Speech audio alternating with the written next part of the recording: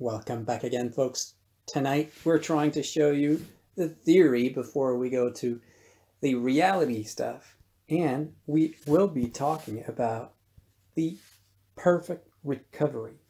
Now, what are we seeing about perfect recovery is we talked about the recovery last week on many um, on many tickers and on many occasions.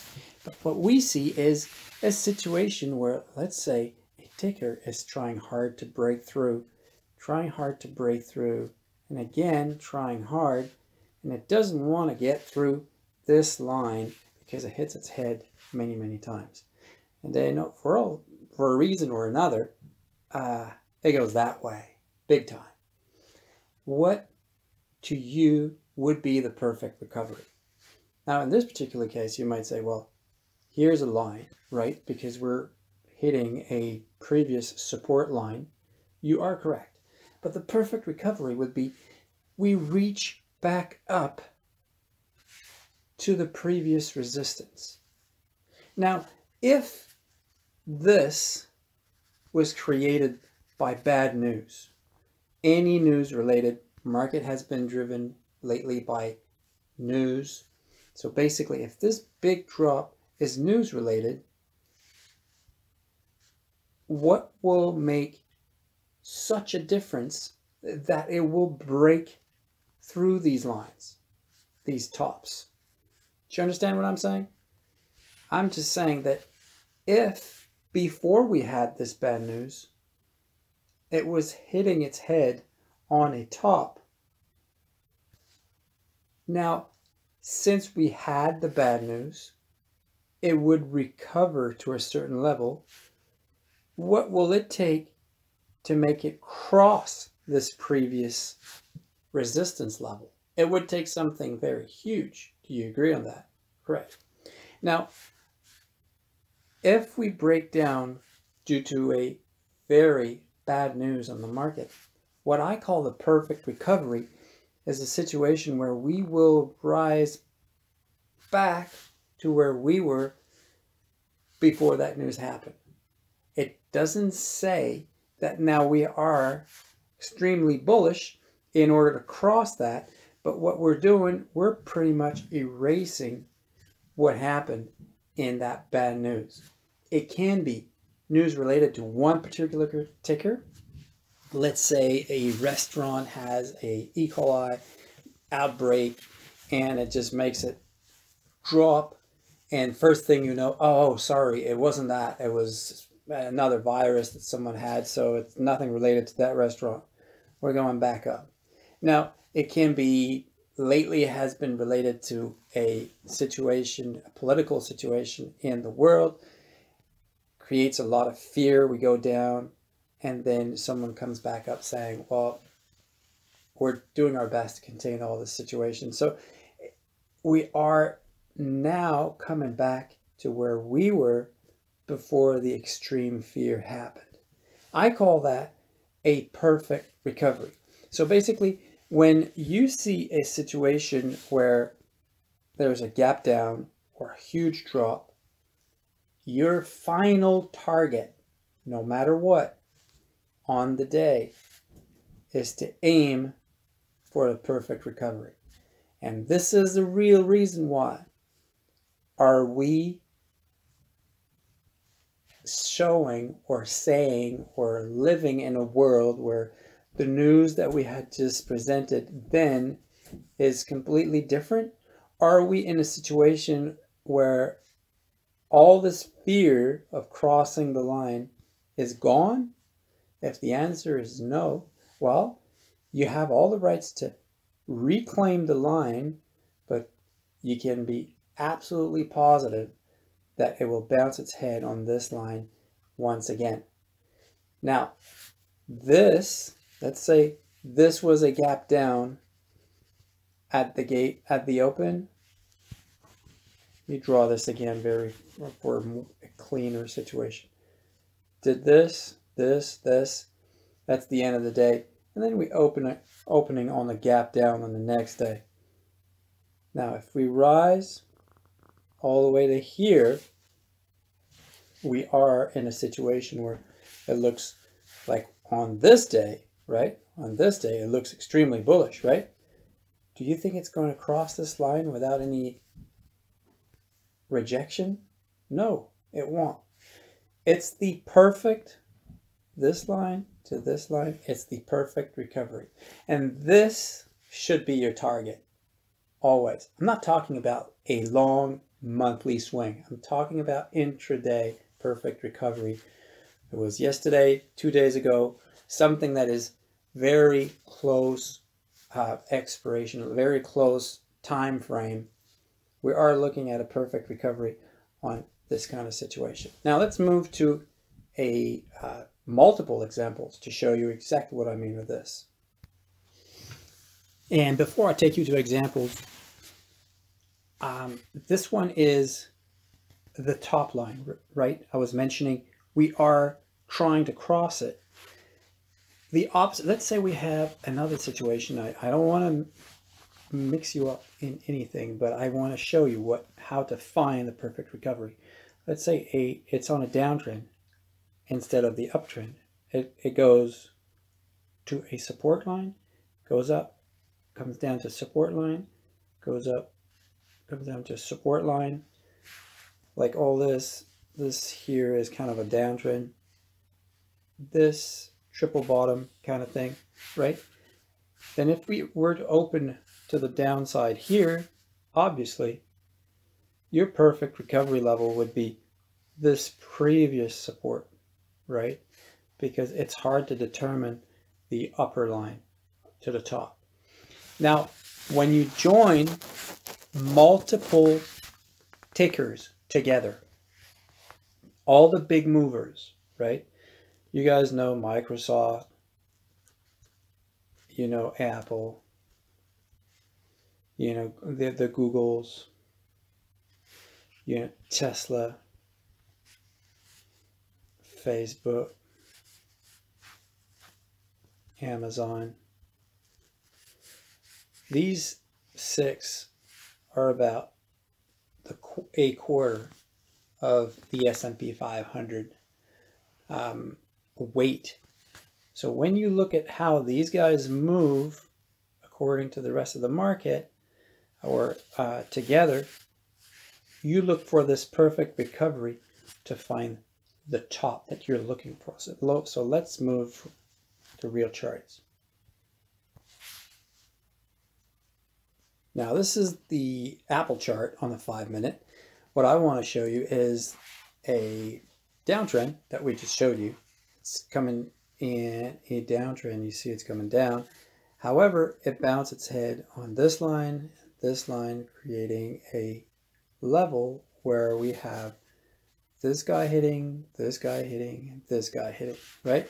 Let's put a line on this here, just so you guys are really clear on this one. See this? Where we're all pretty much touching uh, together. This was bought at the bottom. See how I'm drawing the line? I can be a little higher than that, but this is pretty close. Now, if we were to drop, right, this is what happened. On the next day, fear of an event. We opened up lower pre-market, it just kept on tanking. Where would you see the perfect recovery level, right? You would see the perfect recovery level to this line that we just drew. Now I'll show you moving sideways and this is the perfect recovery level. It looks like magic, but it's not. You what you drew, what you did is this. You have a level and it starts to move up. Where will it go to? First target, you know, if I had been playing it, I would have aimed for that, but it kept on going. Where do you go to? Well, we looked at the, it was a downtrend, support, support all hits that, this is where it's going to hit. Let's move for another. This time we're looking at Facebook. Um, sorry, Mark. Uh, I cat's a cat and Facebook is Facebook. You call it Meta, but you know, um, we're coming down. Same as Apple. Count down on a support. Here it becomes resistance, resistance. You all see this line, right? And I'll take you to today where we have this big drop, right? Where will be, before I show you the result, where will be the perfect recovery? It should be meeting this level, right? You guys want to have a target, that's what you need to, to get. This is the perfect recovery. Where would I have taken this first? Would have been this line, right? Like we just showed you on, on, um, on Apple. But this is the perfect recovery. We're not looking at um, making some profit. We're looking at the perfect line just to make sure that when it reaches that, it ain't going to cross it. And this is where, see this same yellow line here? I'll move it to, sorry, I just moved it, but you know, I'll just put it back to where it was. Rate, support, resistance, where does it hit? We reach precisely to that. Let's move again to the Remember folks that all the examples I'm showing now are all from the same day just to show you the correlation between the relationship between all of them. And so when you have a ticker reaching the perfect recovery level, all of them should probably reach that line together. So that's when you get your ding ding signal that you should be taking profit. Um, this is AMD that we played earlier this week. Uh, it was uh, moving to the upside. We were really bullish on it. And it reached a top here. Let's draw a line together, right? We are drawing a line where we're catching pretty much all the tops here. You guys agree we could go a little higher than that, maybe around here, where we're catching a top, right? This is maybe a little overtaking. Uh, then it's the real top, top again, not crossing it. All this not now is probably telling you that if we reject that, eventually it's going to become bearish see this cross on this uh, 250 EMA crossing, 50 going below. So this meant for a bearish turn, and that was yesterday. Um, it started, you know, I told you about fear, what was happening, the not knowing what was happening. Basically, we opened on the way down, and before I show you a little uh, more of where we're going, you all agree that this is the low, pre-market low. You see this wick. I'll show you a little later, uh, but stay with me here. This is the pre-market low. Where would your perfect recovery be? This. This is what I showed you before. What news would make us go from this level, which is about 102-ish, 103, to this level, which is 118.44 in a day, what news would allow us to even cross it further rather than stopping on a previous resistance that we had on before the bad news happened.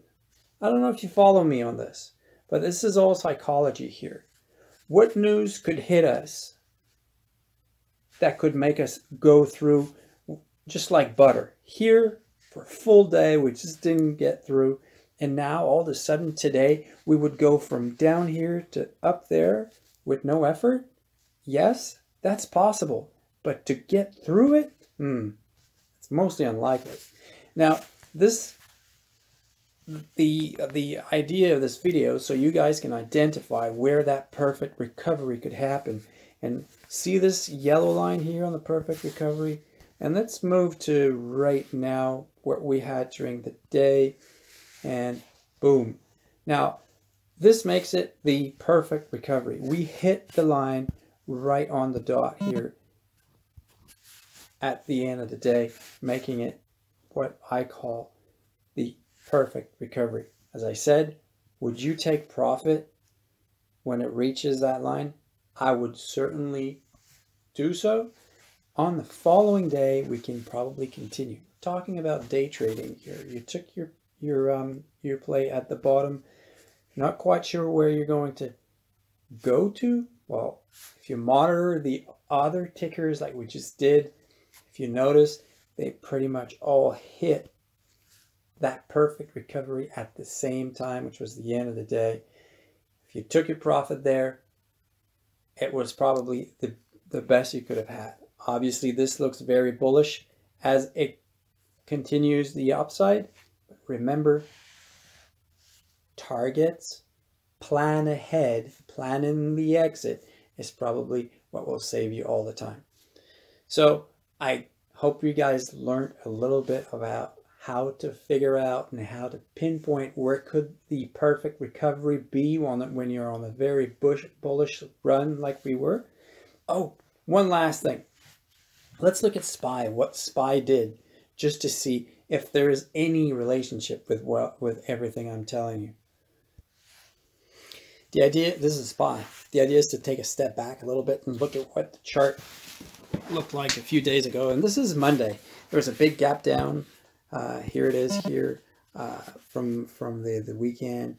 Uh, well, not from Monday, but obviously it was closed on Monday, but uh, from Tuesday morning. There's a big gap down here. Uh, it was trying and trying and trying and not crossing. Eventually we became bullish, but uh, let's just let's just draw a line here and see what it does. what I mean by this is, you know, I'm taking the line very close to that. So basically what I mean is this. Um, follow me here. It did want to cross, but it didn't. It was all pre-market. And then as soon as the market opened, it became support. See how it becomes support. Big wick we see on that support. Um, this is noise, I like to call it, and then back down on support. So this line we have talked about earlier this week, that's pretty important. Let's move to today, um, what happened and see how it does. Uh, it became bullish and then this is the morning that we had this low. Let's take this 410 low. Oh, I moved the line. Sorry. Um, trying to do my best here to see. This is the line that we picked around 428.5, right? And this is the perfect recovery to support that we just talked about from that 410 to this resistance. So all the other tickers that behaved in the perfect recovery manner. Now this one behaved in the manner where it reached a very defined support line that it had support and resistance line. So all of this linked together. I mean, if you're only looking at one ticker at once and you're hoping for it to go up or down, I mean, there is a relation with the rest of the market and that correlation going from one ticker to the other, the movers, the strong ones, the, the ones that are, um, that have more relative, relative strength, you guys can all monitor these guys together in order to be able to find the perfect exit, which was in this particular day, all together at once, reaching the perfect recovery. Hope you guys learned something. See you soon.